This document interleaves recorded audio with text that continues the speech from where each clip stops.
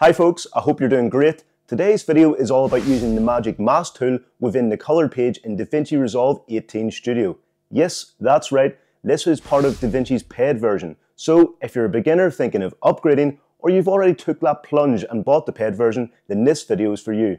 First, if you come down to the bottom toolbar in DaVinci and make sure that you're in the edit page by clicking this icon, and from here we'll import some footage to the media pool that we'll then use to mask an object within it.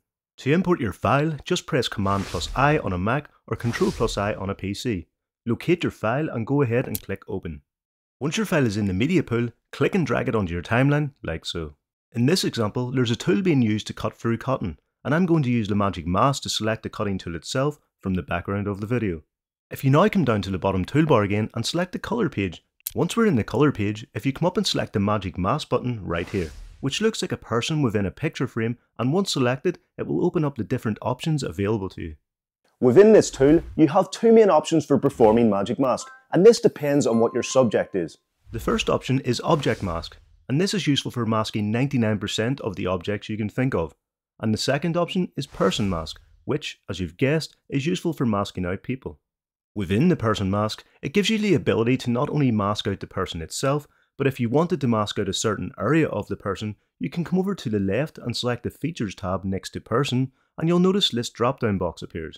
If you click on the drop down, you'll see that you can select particular areas of the body, such as arms, clothing, face, hair, hat, legs, shoes, and torso, in order to help give you a more crisp and accurate outcome, which is great.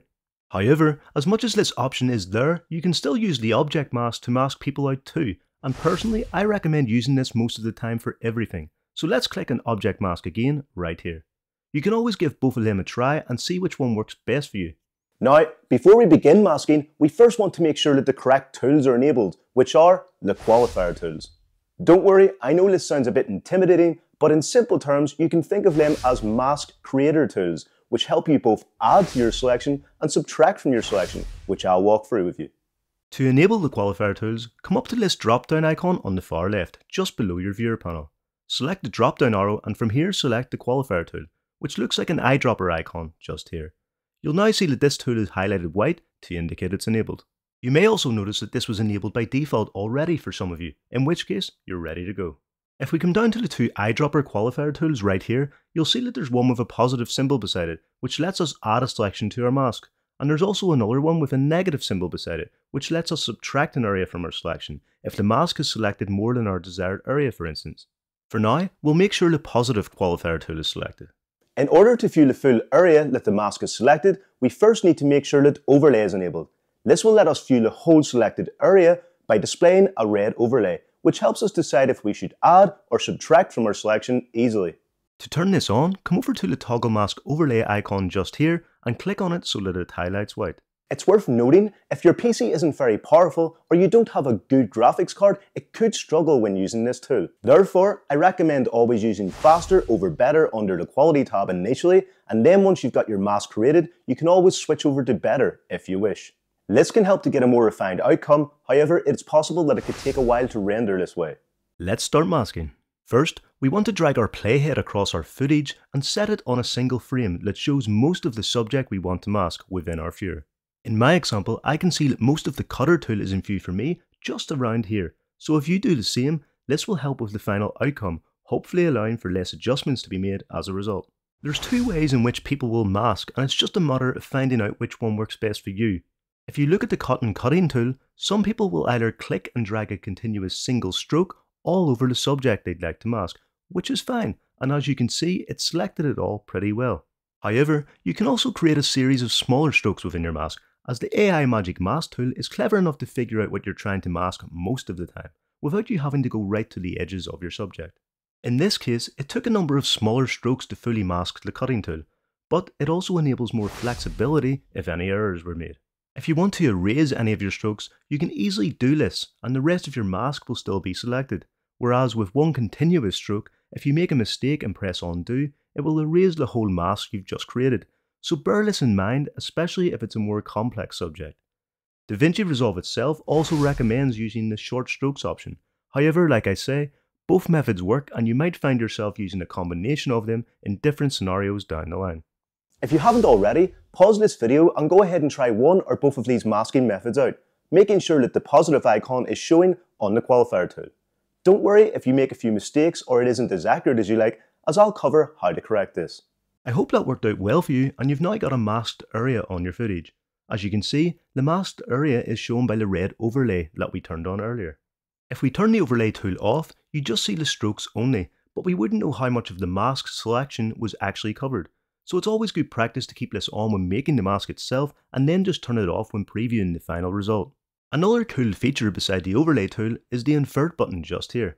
If we click this, it reverses your mask so that the background is masked instead. So you could make changes and now only the background would be affected, leaving your initial mask untouched. Though for now, we'll leave this option turned off. Now, say you were creating your mask and you accidentally selected too much, going over the area that you'd like masked. Well, we can do a couple of things depending which method you used. If you used the smaller strokes method, you could come over to the left panel that displays your strokes and then just click the bin icon beside the stroke that you made in error and it will erase that stroke. From there, you can just continue making more strokes again, correcting it going forward.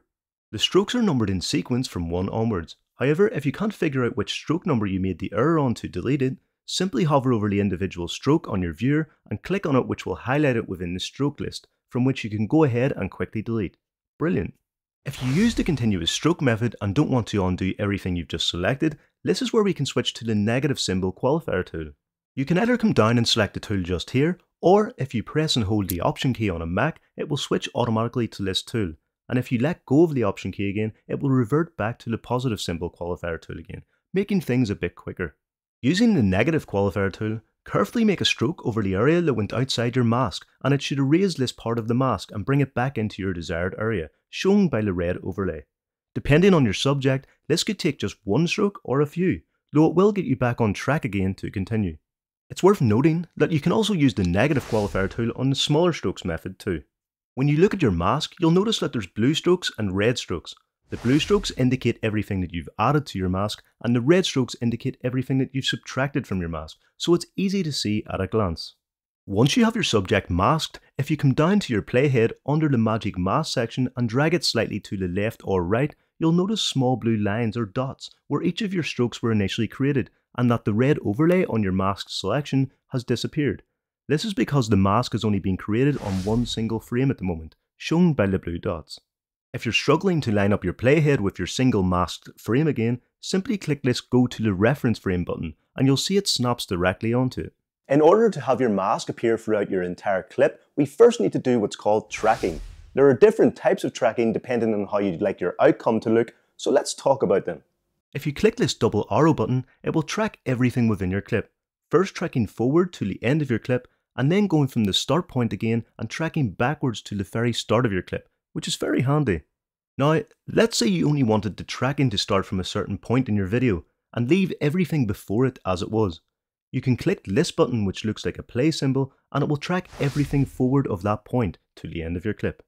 Likewise, you can also do the opposite of this. If you click on this button which looks like a reverse play symbol, it will track everything backwards from your starting point to the very start of your clip. Super cool. These would be the three most common uses for the tracking controls. However, there are a few more that I'll now quickly cover. If you're creating a more complex mask and need to track your mask frame by frame, you can do so by clicking this button, which is similar looking to the track forwards button with an added bar on the end. This will track one frame forward only.